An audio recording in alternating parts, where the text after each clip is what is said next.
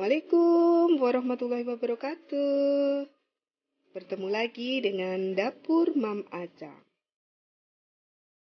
Pada video kali ini, Dapur Mam Aca akan membuat jajan, jajanan atau kue basah, yaitu naga sari Bandung. Di sini naga sari Bandungnya dari tepung maizena. Untuk bahannya di sini ada seperempat tepung maizena atau 250 gram. Kemudian saya siapkan dulu gula pasir tadi 15 sendok. Nanti kalau kurang bisa ditambah lagi. Kemudian satu bungkus santan instan merek Kara. Kemudian satu sendok teh garam. Kemudian ada pewarna makanan saya pakai warna pink, mau pakai hijau juga boleh. Kemudian di sini ada pisang, pisang pipit yang sudah saya kukus. Ini nanti pisangnya dipotong-potong. Kemudian air. Air di sini pakai 6 gelas, 6 gelas ukuran ini, ukuran gelas gini. Saya pakai 6 gelas. Atau kalau pakai sayur santan segar bisa langsung uh, ambil santan segar 6 gelas. Nah, ini di sini saya pakai santan instan. Adanya cuma satu, tinggal satu di rumah ya udah kita buat seadanya saja. Kemudian siapkan pisau untuk memotong pisang sama panci. Panci untuk membuat adonan nagasarinya. Sekarang kita lanjut dulu. Untuk pisangnya, ini pisangnya sudah terlalu matang ya. Untuk pisangnya bebas ya, boleh pisang raja, boleh pisang tanduk. Ini di sini saya pakai pisang pipit atau kepok pipit. Nah ini dikupas dulu, baru dipotong-potong.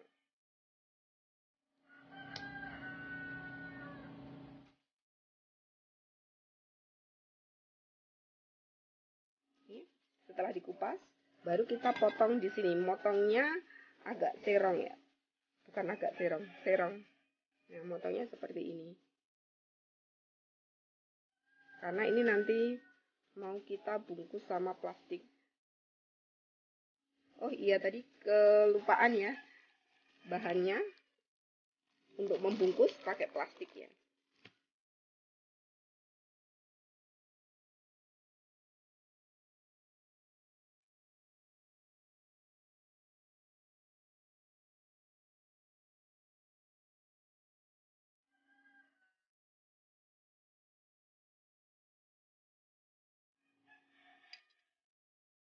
Oke, untuk pisangnya dipotong terus sampai habis ya. Di sini tadi saya pakai 5 buah pisang kepok pipit.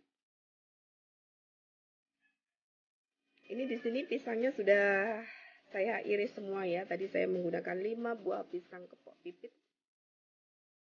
Nah, ini sudah saya potong semua. Sekarang kita lanjut ke langkah berikutnya.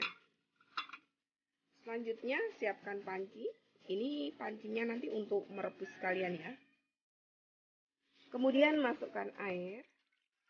Atau kalau pakai santan segar ya berarti langsung pakai santan segar. Kemudian masukkan kara. Selanjutnya masukkan kara.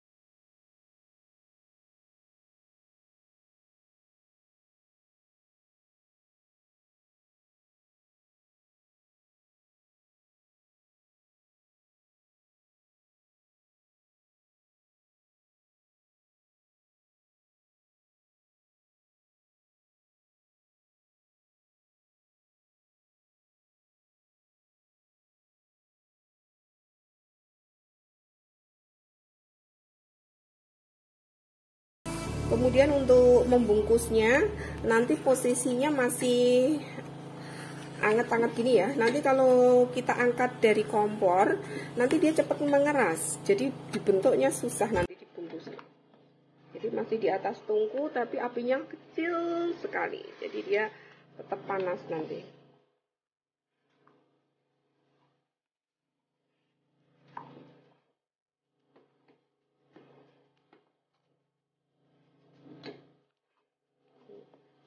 mengeras.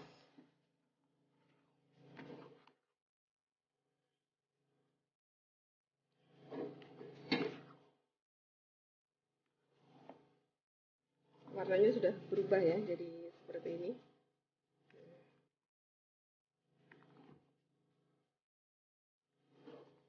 Oke sekarang kita bungkusi. Kita kecilkan dulu kompornya sampai titik terkecil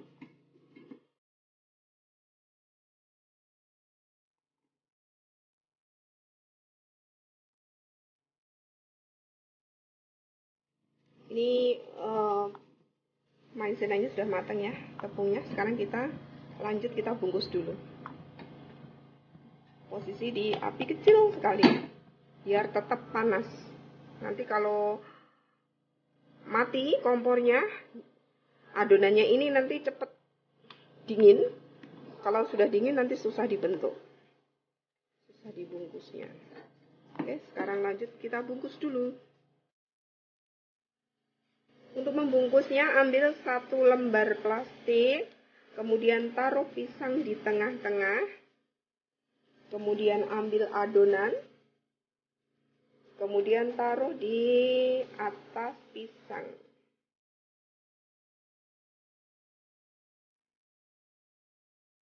Cukupnya. Kemudian kalau sudah, plastiknya kita dorong ke tengah, kanan kiri ya. Kemudian kalau sudah baru dilipat. Sudah jadi.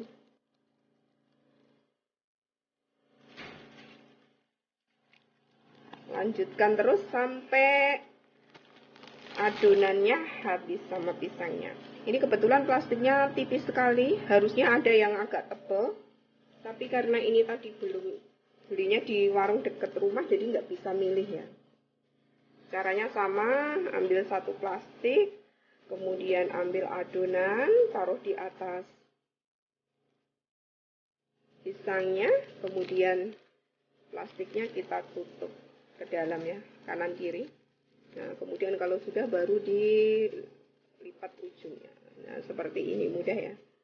Sudah jadi.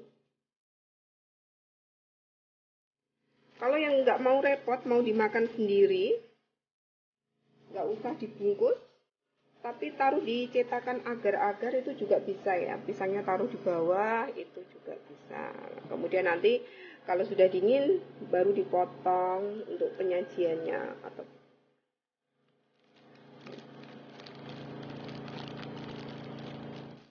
seperti ini. Nah, sudah jadi sudah ya Nagasari, Bandung dari tepung maizena.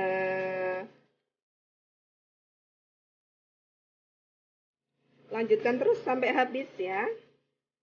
Terima kasih sudah menonton video ini sampai habis.